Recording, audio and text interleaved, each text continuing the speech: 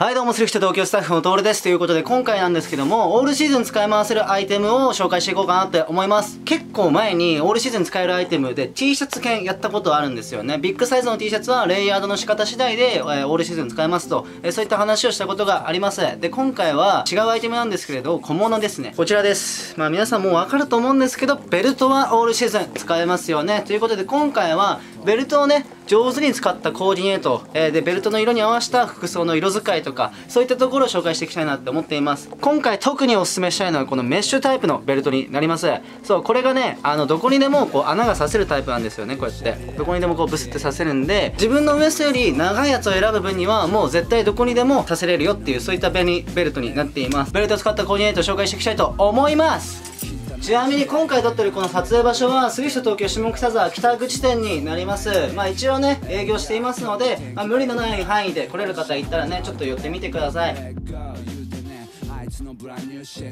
はい。まずねワンコーディネート目に着替えてきました。まずねシルクの柄シャツに、え下がラルフローレンのコーデュロイパンツになります。今回使ったベルト。黒のレザーベルトになります。これはねメッシュタイプではないんですけれどまあしっかりしたね、えかっちりスタイルには向いているタイプになっています。例えば清掃スーツだったり、まあ、学生服だったりまあちゃんとね綺麗めな感じにしたいっていう時はやっぱねレザーのベルトも1本あると便利だと思います。で色の組み合わせなんですけれど基本ベルトってそんなに気にしなくていいです色の組み合わせ。基本黒とか茶色とかおとなしい色だったら気にしなくてもいいと思うんですけど例えば赤とかなんか黄色とか派手な色になるとまあ色のね組み合わせのバランスは気にした方がいいかもしれません。今回はこういう明るい柄シャツにコーデュロイパンツっていうコーディネートなので黒、えー、合わせやすい色をチョイスしています。どうでしょうか？まあこの感じはどっちかというと秋とか春とかのね、えー、服装になると思いますがベルトはねやっぱりオールシーズン使えるということでまあもちろんね、春夏秋冬全部いけちゃうわけでございます。シャツインそんな得意じゃないですっていう人は、なんかね、センターだけインしといて、まああとはちょっと出しとくみたいな、こういうなんかすげえ着崩しスタイルもありかなって思います。はい。後ろだけ出ていて、だらしのない雰囲気にする、あえて。で、ベルトのバックル部分だけ見えてるっていうね、そういった組み合わせの仕方もありだと思います。はい、次のコーディネートになります。レッド・ツェッペリンの最大柄のプリント T シャツになりまして、下がデニムパンツになっています。まあ、爽やか夏スタイルって感じですよね。で今回はシャツインしてないんですけどたらしベルトでベルトを見せることができますって言いたかったんですけど持ってくるベルトの長さを間違えてしまったのでなんと見えません。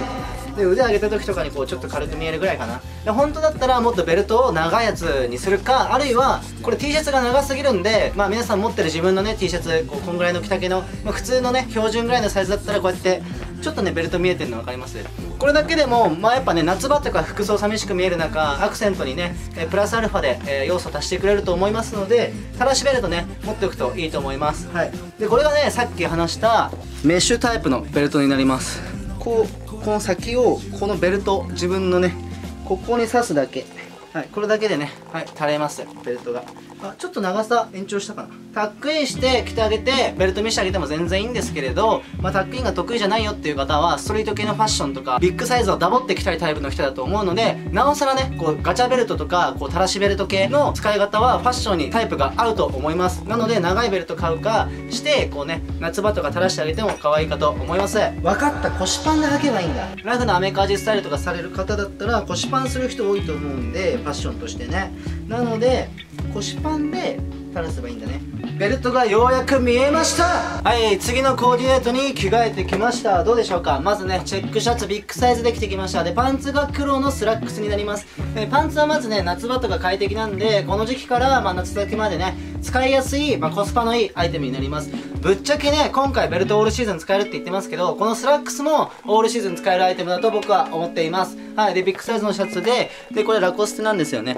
で大事なの忘れてたけどベルトの動画だったこれベルト。このコーディネートはシャツにスラックスっていう綺麗要素綺麗要素プラスで革靴でも締めているのでタックインの服装がかなり相性がいいと思います。綺麗めにまとまってより足も長く見えますしベルトのねアクセントが効いております。で今回僕がねベルトをおすすめしたい理由としてもこのねファッションって確かにベルトってこうインパクト的なところで言ったら弱いですよね。そんなに主張が、まあ、強いやつを選べば別ですし着方次第ではベルトにねよりアクセントを出す着方もあるんですけれど基本的にはもう本当に何て言うんだろうこう裏方役みたいなこのファッションの中でまあ必要だけどめっちゃ先頭に立っているわけではないっていうね絶妙なポジションなんですよ。だからこそ皆さんベルトをねこう先送りしちゃいがちだと思うんですけど僕とかね私物でベルト何本か持ってますけどやっぱいいやつとお気に入りのやつ使いやすいやつとか持っておくともうねずっと使えるんですよね。もう何年も何年も使えるアイテムなのでベルトをね全然持ってないよっていう方はこれを機に特に夏なんで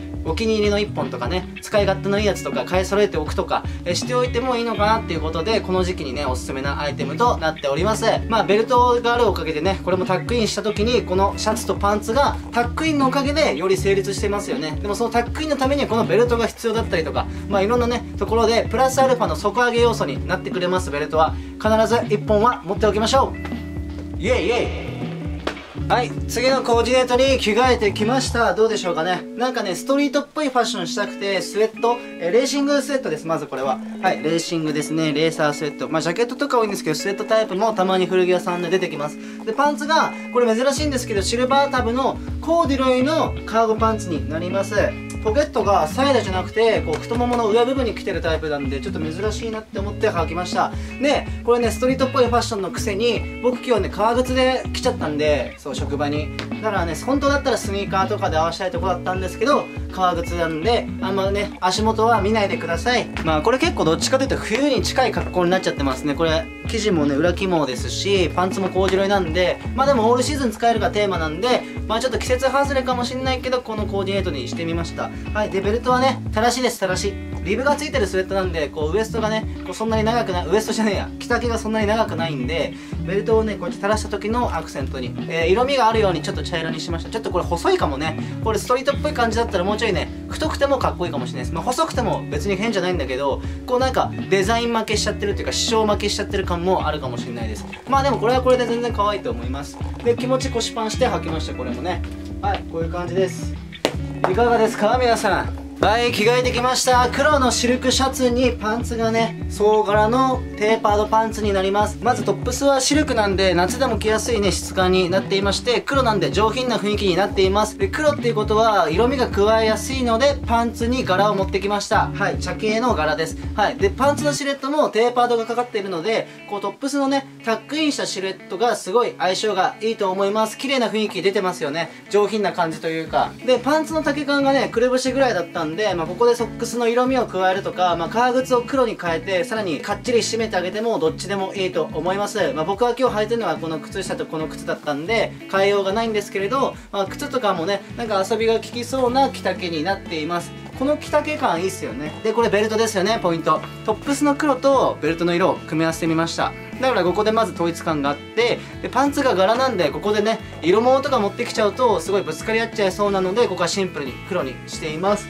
黒のねメッシュベルトのタイプなんですけどこれもね可愛いですよね。はいこういう感じです。どうですか？皆さん。はいということで皆さんお疲れ様でした。今回はねオールシーズン使えるアイテムということでベルトの紹介をしていきました。はいで古着のボトムスってどうしてもねでかいサイズのものが多いのでベルトが結構必需品にな必需品ベルトが結構必需品になってきたり